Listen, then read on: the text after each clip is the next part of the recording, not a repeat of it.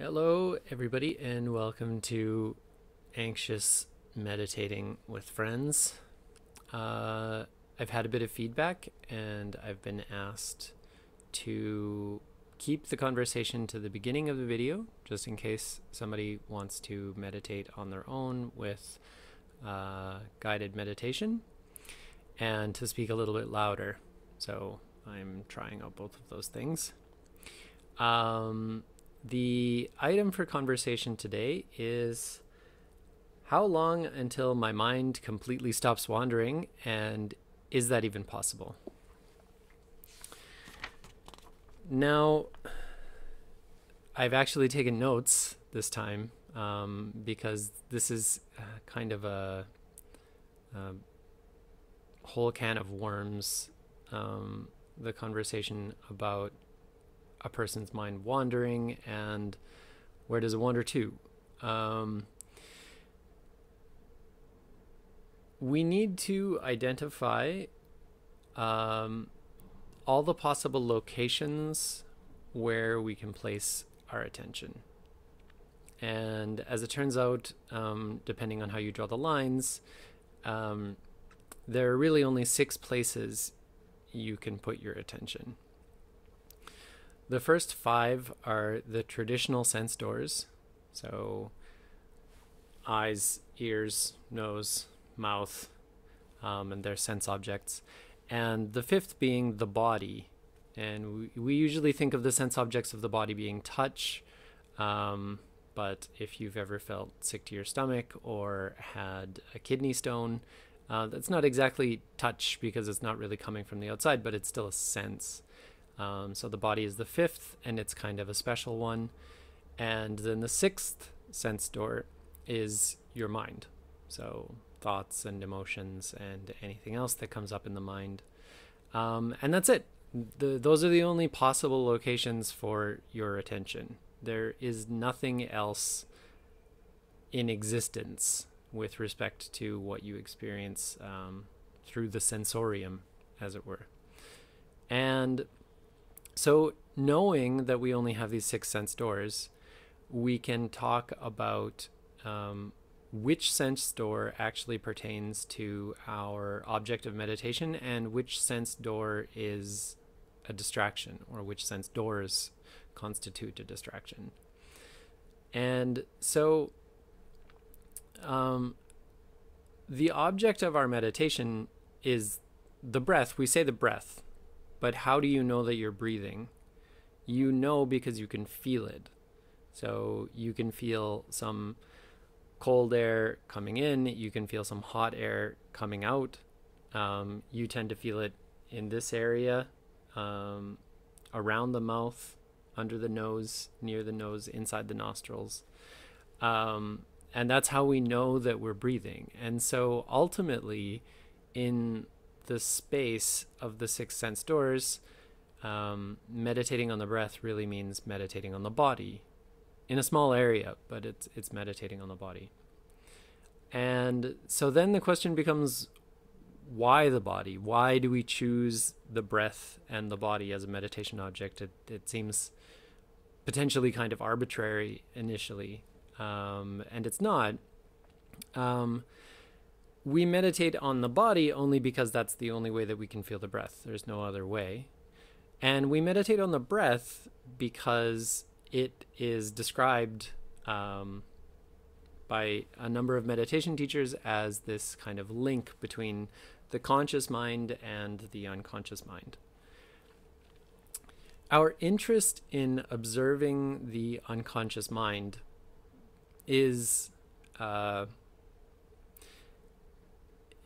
I'll get to that. but the idea is is one of um, of exploring the unconscious mind intentionally. That that's actually a goal that we have. Um, the goal is not to escape thought. So we're not trying to get away from thought. We might feel like our thoughts are overwhelming us, our emotions are overwhelming us, and that we would actually like to go somewhere else. Um, that's not the point. So we're not trying to escape thought.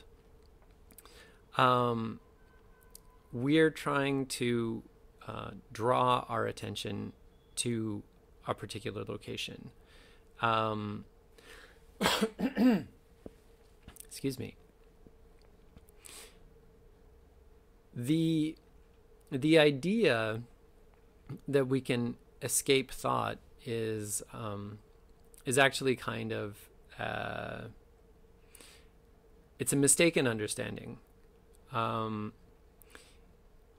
we don't really have any control over our thoughts, so we understand this from a neuroscience perspective now that and it makes sense intuitively and intellectually that a thought is actually emergent right um, a thought begins somewhere um, there is no you to start it somewhere deep inside your aggregate you're a bunch of meat and um, neurological impulses and whatever else is going on inside your body so in and amongst those impulses, a thought begins. And we only really recognize it as a thought once it reaches the surface. So once that thought is gross enough, large enough, um, seems concrete, so uh, I have a word to say, I have an emotion to feel, um, then it, it feels like it's reified, but it has really begun deep inside of us at some biochemical level um, where the interactions are kind of meaningless. And um, at, at some stage of its ascent to the surface, we recognize it and we say, oh, okay, now I'm thinking this, now I'm feeling this.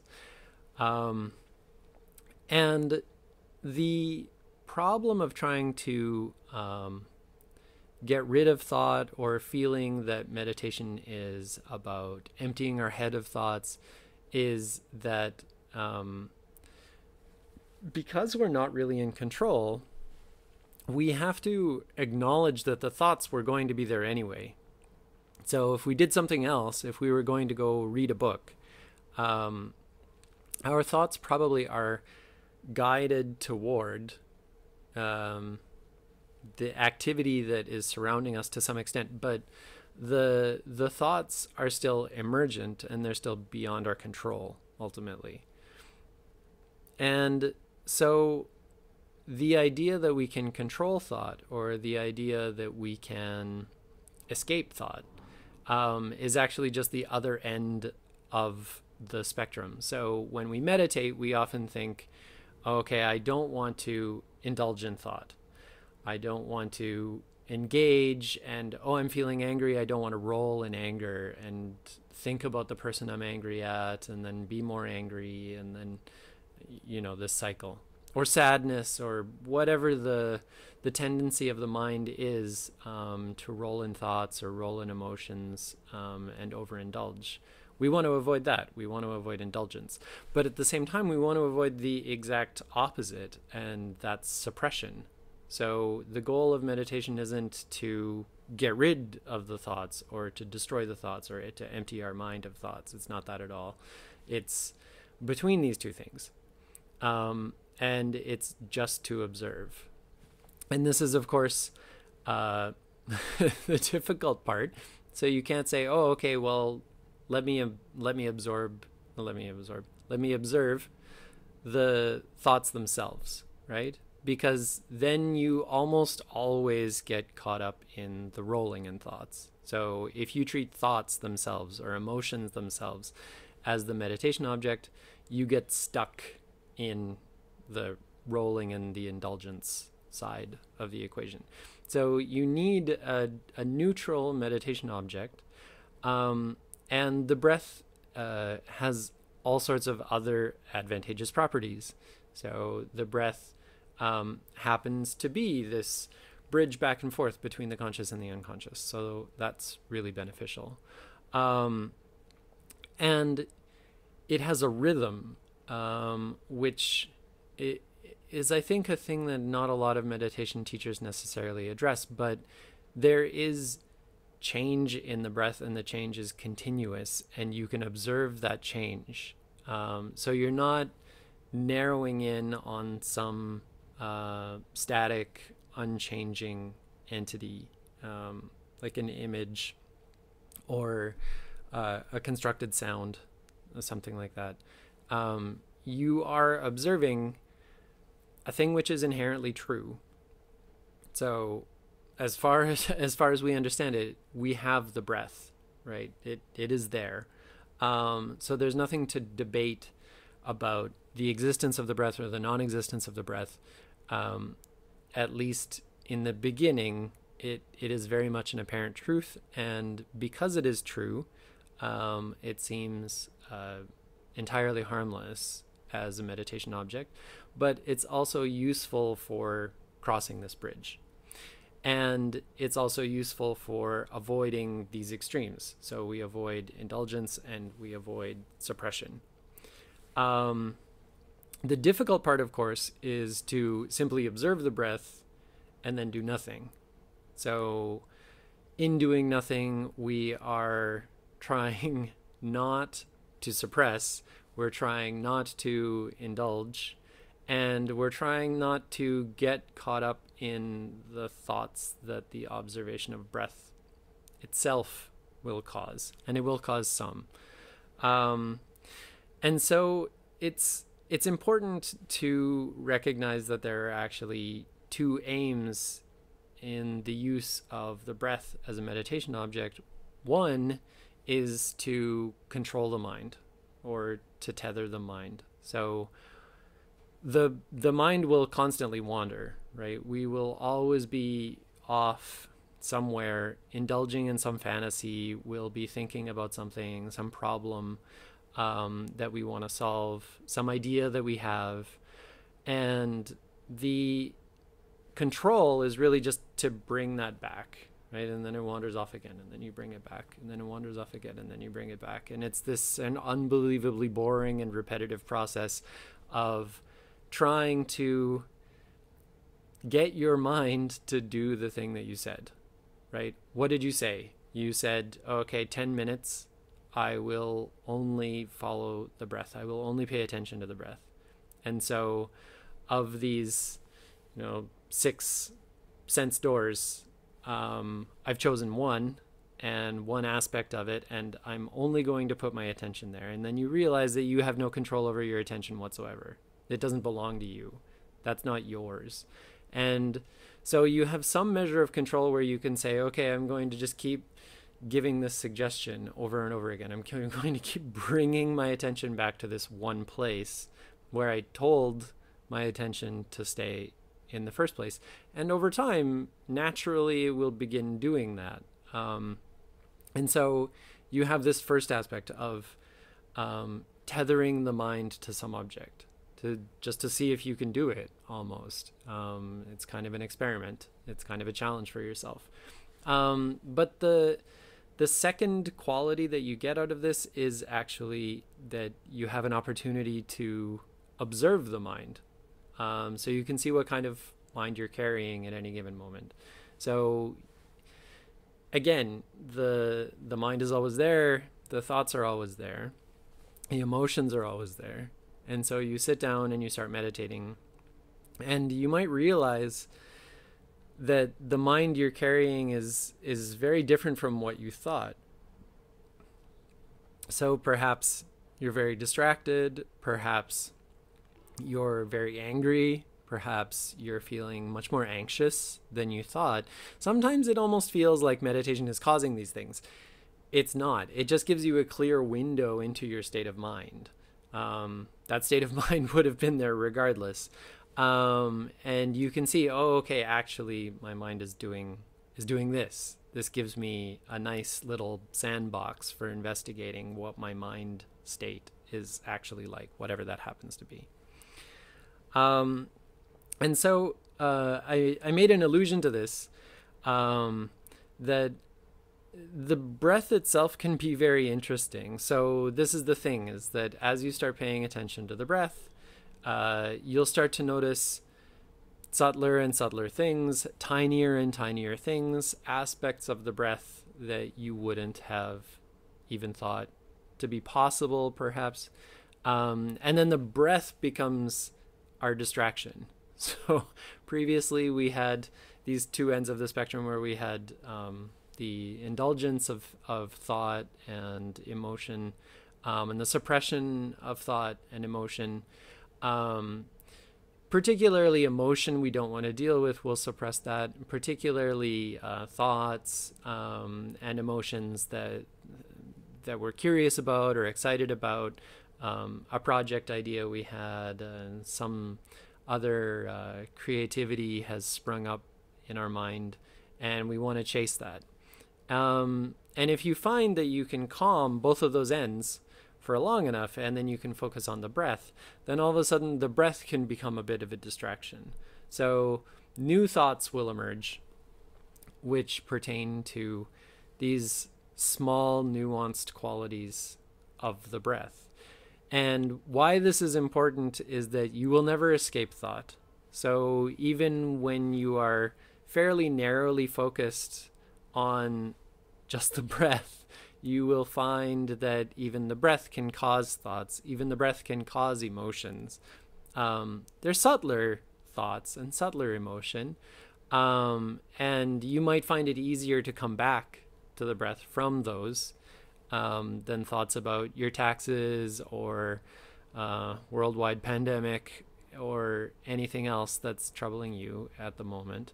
Um, but it's still a distraction from your meditation object. And the reason that you're interested in this meditation object is because you know, intellectually or otherwise, that anxiety about a pandemic, um, anxiety about your taxes, excitement for a new idea, um, whatever it is that is going on in your mind is aggregate, right? At the high level at the top level where you can say this is my idea. That's that's as gross as it gets. That's as high level as it gets. And underneath that are tiny pieces which contribute to that aggregate and those tiny pieces are interesting it's interesting to know where your ideas come from it's interesting to know uh, where your fears come from where your sadness comes from um, why are you afraid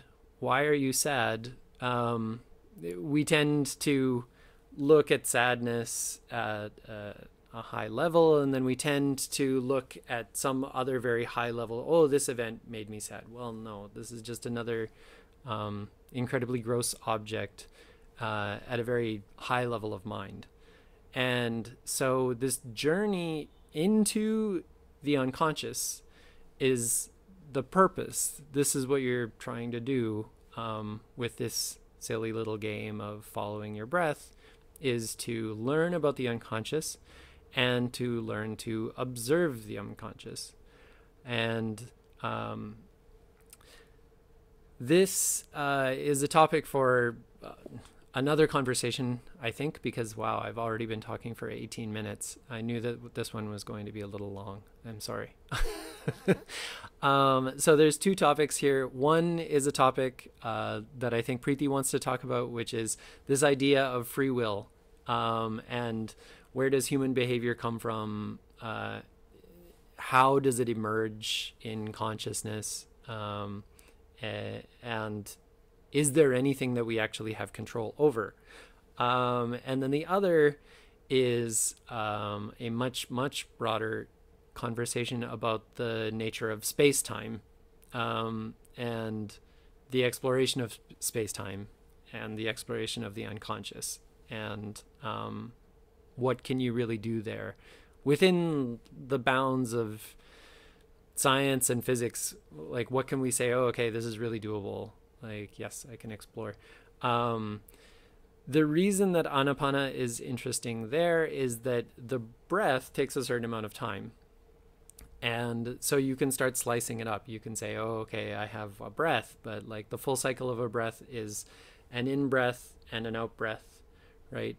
Um, so I'll split it in half. And now I'm observing the in breath and now I'm observing the out breath. Well, but the in breath, oh, okay, so one in breath, but I can graph that too, right? And I can split that in half. And so the first half of the in breath and then the second half of the in breath and so on and so forth. So you're just dividing time up and by dividing it up and looking closer and looking closer, you can start to stretch it out and you can start to see these tiny pieces um, within the breath, within time, um, and you can start to kind of get a different handle on time um, than uh, we tend to usually have uh, in our day to day lives because time is more or less straightforward when we're not meditating.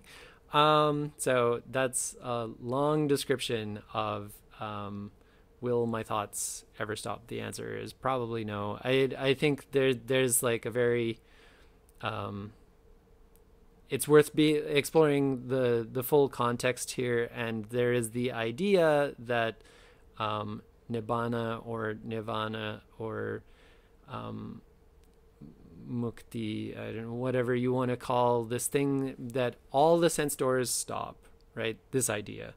Um, I don't know anything about that. I can almost guarantee you don't know anything about that. So I don't really know that it's worth considering. So for all practical purposes, um, thoughts don't stop, uh, emotions don't stop.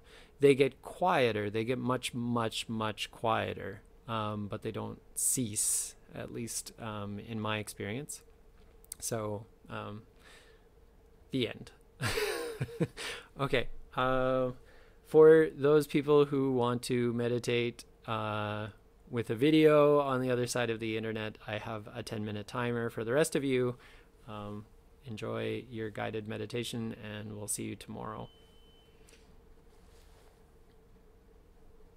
All right, 10 minutes is starting now.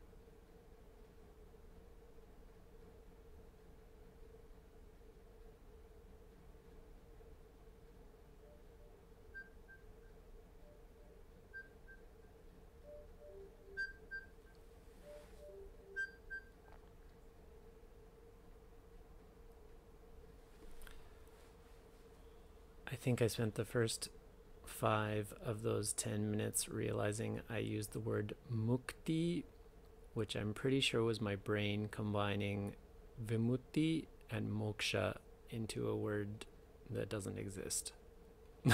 uh, I hope you all have a wonderful June 8th and good night. We'll see you tomorrow.